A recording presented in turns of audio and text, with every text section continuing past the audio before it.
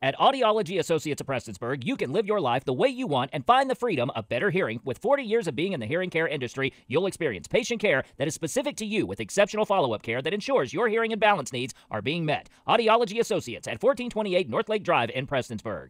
Courthouses across the state of Kentucky received bomb threats on the morning of January 4th. Yeah, I mean, you know, th- this stuff's not funny. Um, you know, somebody maybe had a bad day, had, a court date today, and probably plan on going to jail. But you know, uh, they just make it worse on themselves. And uh, you know, th- this is this is not funny. Um, you know, it uh, slows slows the process down, but you know, eventually it, it comes out. It's worse in the long run.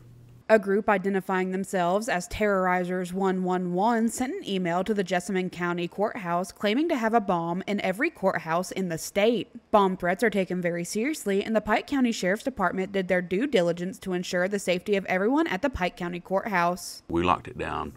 Uh, we for a while. We called the city police, state police, uh, fire department, and we went back and even watched video as much as possible, but uh, searched, you know, the entire building.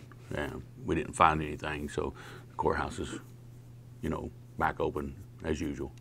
Pike and Floyd County courthouses were cleared and reopened within a few hours of the threat. For Mountaintop News, I'm Kelsey Fidel.